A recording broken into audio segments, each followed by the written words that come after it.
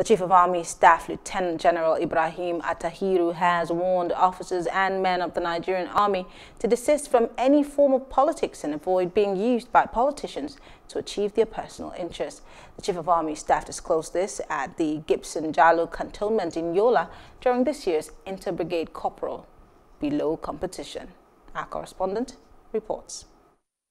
It is no doubt that the security situation in the northeastern part of Nigeria, particularly in Adamawa State, is gradually reducing. Hence, this competition, which is meant to send signals to Boko Haram and other criminal outfits that the Nigerian army is on top of their game represented by the General Officer commanding 3 Division Nigerian Army, Brigadier General Bello Mohammed, says the competition is pertinent within the troops as it will go a long way in boosting the morale of the officers and men. Brigadier General Mohammed says there is no gainsaying that the competition develops the resilience required to win battles, hence the activity that is repositioned to professionally defeat all adversaries in a joint environment. It is the duty of all officers and men to, to be absolutely loyal to constituted authority at all times.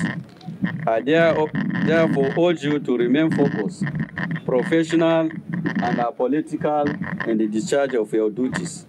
Therefore, you must resist by all means the call by some unpatriotic Nigerians for military intervention of the current political dispensation. One of the participants thanked the Chief of Army Staff for organizing the event as it will help the troops to share ideas through sports.